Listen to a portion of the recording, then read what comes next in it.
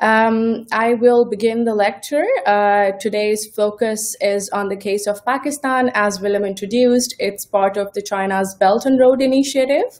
And uh, this is part of my ongoing doctoral research that I'm conducting, uh, looking at the, the effect of China's Belt and Road on democratization and regime change. But I've made this lecture uh, on a more informative note uh, to discuss what CPEC is, what projects come under it, and how to understand uh, broader China Pakistan relations within this context. Um, so I'll begin. Um, in this lecture today, I'll briefly uh, give the overview of the Belt and Road Initiative and then move on to um, uh, talking about CPEC, what institutional framework of CPEC is, what investment and projects come under it, how's the financing and sectoral distribution of the, uh, of the projects, and uh, the China-Pakistan relations before CPEC and after uh, CPEC period. And then I'll move on to discussing Gwadar Port uh, with a specific focus. So what is Belt and Road Initiative? As most of you already know that it was launched in 2013 as One Belt, One Road initiative by Chinese President Xi Jinping with an aim of uh, regional connectivity and economic cooperation through infrastructure investment and trade. So essentially reviving this ancient trade routes, which were known as Silk Road or Silk uh, Route uh, back in the second century.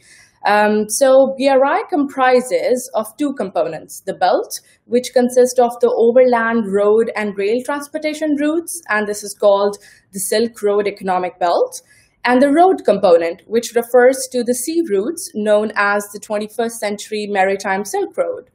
Um, and which countries come under BRI? Um, it's it's evolving project and it covers uh, many regions across continents within Asia, Africa, and the rest of the world. And as of January 2020, China has signed um, around 200 cooperation documents with 138 countries and 30 international organizations, according to the Belt and Road portal of the Chinese government. And uh, there are six economic corridors within BRI. So China, Mongolia, Russia Economic Corridor, New Eurasia Land Bridge Economic Corridor, China, Central Asia, West Asia Economic Corridor, um, and China Pakistan Economic Corridor is one of these six economic corridors. And this will be the focus of the talk today. So I uh, wanted to display this map uh, because it gives uh, a broad overview of how the projects are happening all over the regions, um, showing different rail railroads, oil pipelines, and gas pipelines. Um, this is uh, made by MERICS, the Mercator Institute of China Studies, and it um, they track the progress of the projects as well. So it gives a, a high level overview of um, uh, the scope of the Belt and Road Initiative.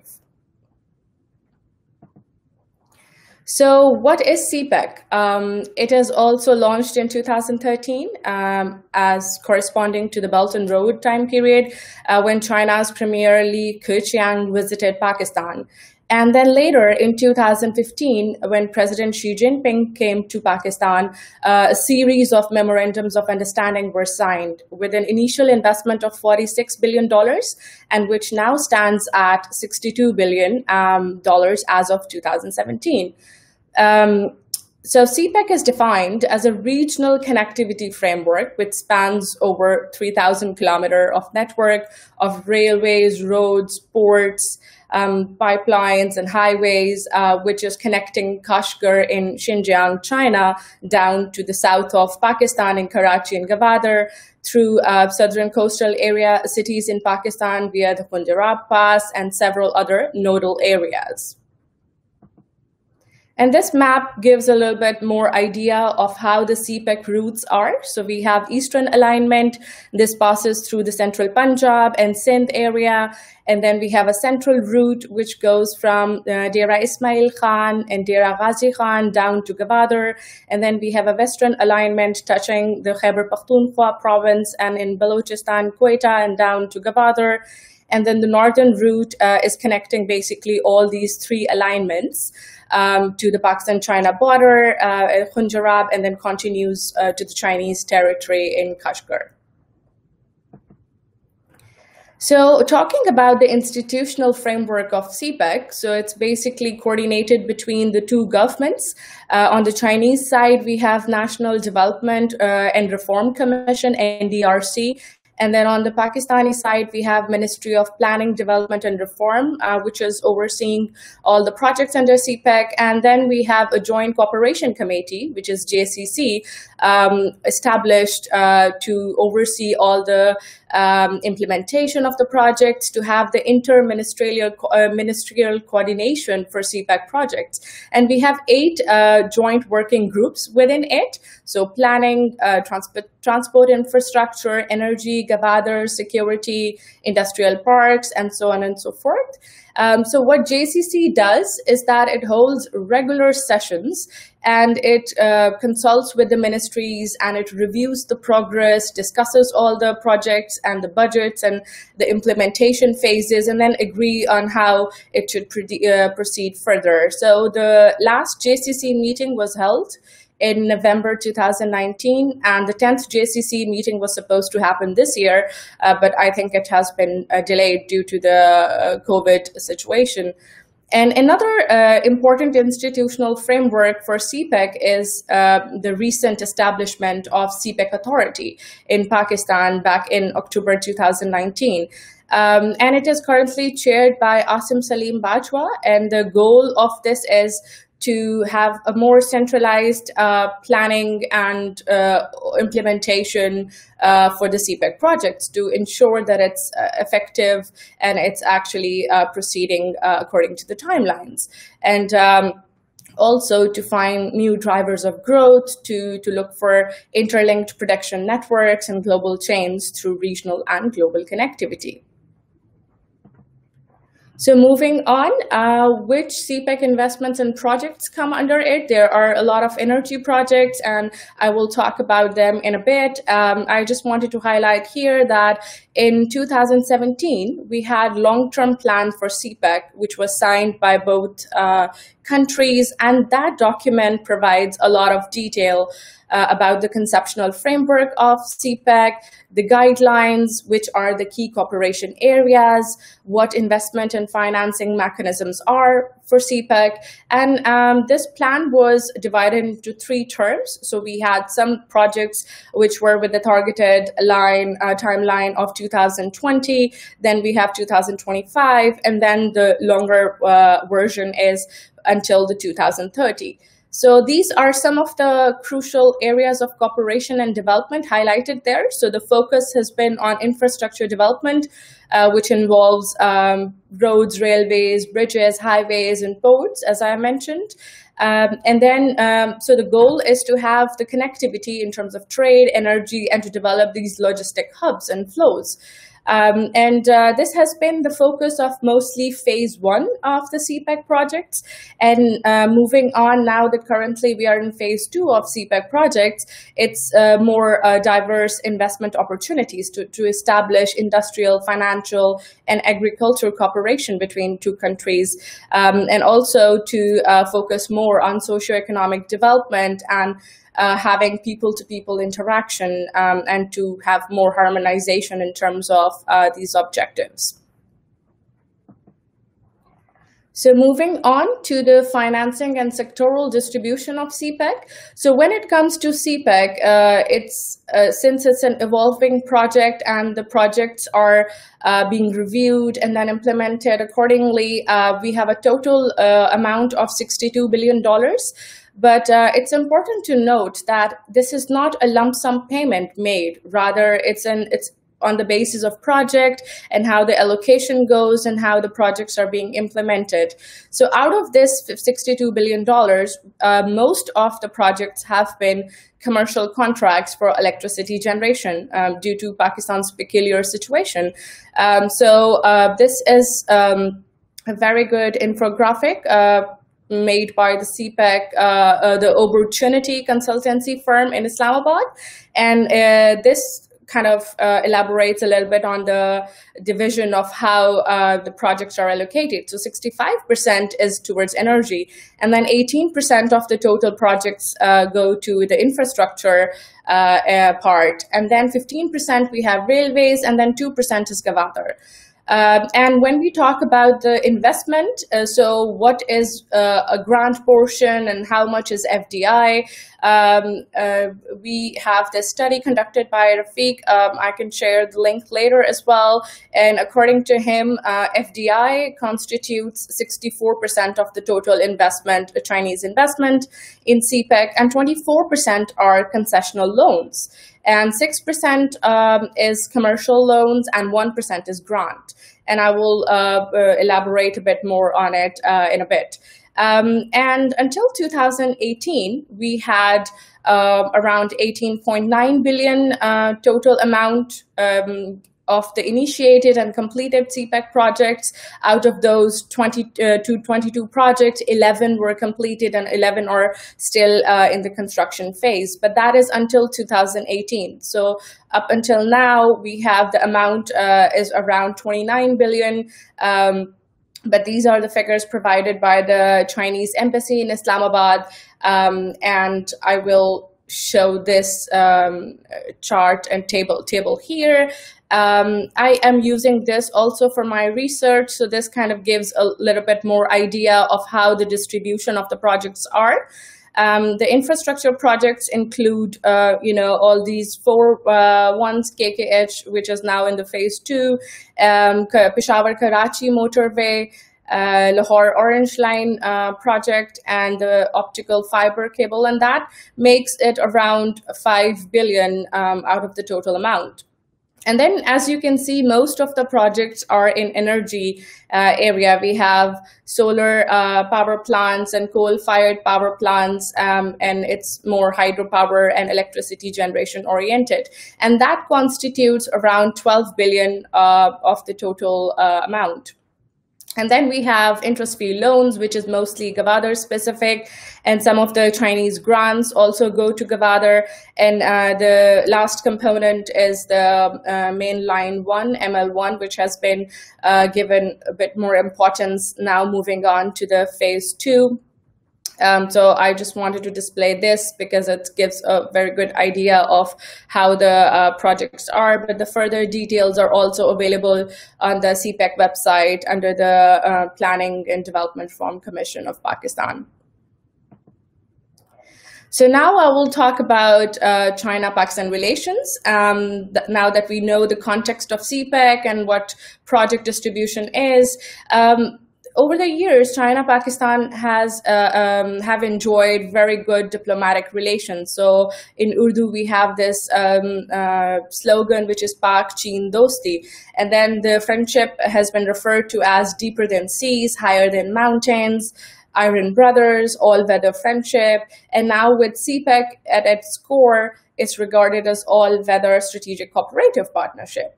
So um, now, if, if you look at it, Pakistan was the first country to recognize uh, PRC back in uh, 1950 uh, when uh, PRC was established in 1949. And then later on, the official diplomatic relations were established. Um, and then over the years, in through, throughout the uh, 1960s and 80s, both countries developed military assistance, strategic alliance was formed, and economic cooperation um, started to occur. So here I'll talk a little bit more about how to understand China-Pakistan relations in a pre-CPEC phase. Um, and I'm using this uh, overview provided by uh, Filippo Boni's article. He talks about Sino-Pakistan uh, relations, um, and he categorizes uh, the relations in these possible uh, five phases. And I also include some data from the Ministry of Foreign Affairs uh, of Pakistan. So just to walk you through uh, very briefly how to understand this. It's, it's a huge topic, so uh, I will just touch upon on some of the important uh, incidents occurred uh, between two countries. So phase one could be looked into when the um, Pakistan-China uh, actually established diplomatic relations in 1951. And then um, China Pakistan agreed for the border agreements over Kashmir. And um, so, so, according to Filippo Boni, um, the relationship of China Pakistan has not always been linear because initially, when Pakistan was um, uh, became independent in 1947 and over the first 10 years or so china was more close to india while pakistan adhered more to the us defense pacts uh, SEATO and CENTO so um, th- so this has been uh, a very strategic um, in this way. And then if we look into the phase two um, Pakistan was going through uh, two uh, conflicts with India. We had Indo-Pakistani War of 1965 and then uh, 1971. Uh, but Pakistan did establish military assistance with China in 66. Um, so um, Boni explains here that within this uh, phase from 1964 to 71, the driving factor behind China-Pakistan relations was mostly anti-India orientation of both countries at that time. Uh, and later in 1970, uh, Pakistan facilitated the first visit of the US President Nixon to China, which paved way uh, for the first ever US China contact. So China does acknowledge that. Um, and now moving to the phase three, uh, Pakistan developed its nuclear program with Chinese support. So the strategic alliance was also formed and then the Karakoram Highway was constructed uh, with the uh, mountainous north part of Pakistan and connecting with the west uh, of China, which officially opened. And in the 1979, the economic cooperation began between two countries. Um, and moving on to now 80s until 99, uh, more military to military contacts increased between China and Pakistan. Um, and um, the contract also to develop and produce uh, JF 17 was signed. Um, and when we move to the phase five, we look into more um, trade uh, enhancement. So preferential trade agreement was signed. Uh, Premier uh, visited also Pakistan, and it was 50 years of diplomatic relations between the two countries. Um, and then um, in 2006, Chinese President Hu Jintao visited Pakistan, and then, of course, the free trade agreement uh, was signed. So this kind of provides a very high level overview of how to understand uh, the dynamics between um, China and Pakistan. Now I will move to a little bit when 2013 um, CPEC uh, was launched. So Pakistan awarded the contract for the construction and operation of Gwadar port to China and Prime Minister Nawaz Sharif uh, visited China, and then the both sides agree uh, agreed to common uh, vision for deepening China-Pakistan uh, cooperative partnership. And in 2014, uh, the Orange Metro Line project started in Lahore already. So this is one of the infrastructure projects um, that I talked about before. Um, and then uh, moving on to 2015, the historic visit of Xi Jinping to Pakistan uh, happened, and then both countries officially um, signed uh, more than 50 agreements outlining CPEC projects and um, the details about the investment and how uh, the implementation uh, will proceed. Um, 2015 was also the year where uh, two countries established um, trade, uh, so friendly exchanges in terms of trade, and that trade reaches $16 billion. Um, in 2016, we had the 65 uh, years of diplomatic relations. Uh, now moving on to 2017 and 18, um, a lot of state uh, visits happened throughout this time frame until now. Um, and uh, if you look at the official visits before CPEC, um, the number has relatively increased uh, post CPEC phase. So in 2017, uh, and the prime minister uh, back then uh, visited Belt and Road Forum in Beijing. Um, in 2018, we had a change of government. So the new prime minister, which is the current prime minister of Pakistan, Imran Khan, visited China and also attended the first China International Import Expo in Shanghai. And then in 2018, we also moved into the second phase of CPEC. Uh, moving on to 2019, um, Second Belt and Road Forum happened, and in 2019, uh, as I mentioned before, the CPEC Authority was established uh, to monitor the CPEC projects, and also a dedicated CPEC cell was established in the Prime Minister's office. Um, and uh, now in 2020, due to the coronavirus pandemic, both countries have reassured uh, uh, help and coordination uh, to each other. And uh, recently, this MOU was signed to include uh, another joint working group on science and technology and agriculture cooperation. So this kind of sums up um, how the relations between China and Pakistan have proceeded uh, or evolved uh, after CPEC was launched. And um, uh, also, uh, both countries have enhanced more people to people uh, interaction with each other. Uh, educational exchanges are happening. Many Pakistanis are studying in China under Chinese government scholarship. Um, and um, people are uh, learning also Mandarin and vice versa. So uh, universities in China are also teaching Urdu. So there's a enhanced people to people interaction uh, um, aspect of the relation as well. Now I will move on to the last aspect, uh, which is Gwadar Port. Uh, Gwadar Port uh, project has a very crucial uh, importance in CPEC uh, project, and it is regarded as the flagship project. Um, and Gwadar uh, is one of the largest deep sea ports, which is situated on the Arabian Sea in Balochistan um, and um, right across the Strait of Hormuz. So it does have a certain uh, geopolitical and strategic uh, importance attached to it.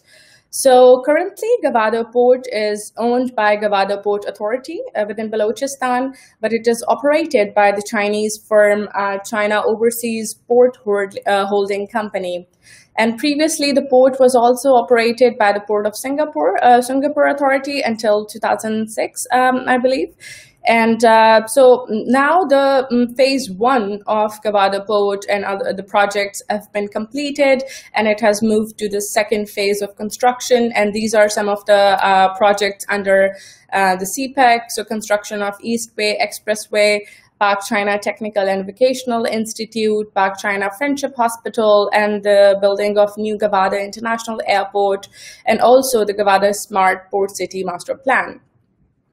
Another aspect within the Gwadar Port uh, uh, projects is uh, also the development of Gwadar Free Zone, which will allow the tax exemptions for the uh, businesses and um, uh, trade uh, trade purposes, and also to enhance financial cooperation between free trade zones, FTZs, and explore RMB offshore financial business in Gwadar Free Zone. So um, I will stop here and um, thank you very much for listening and I'll be happy to take questions.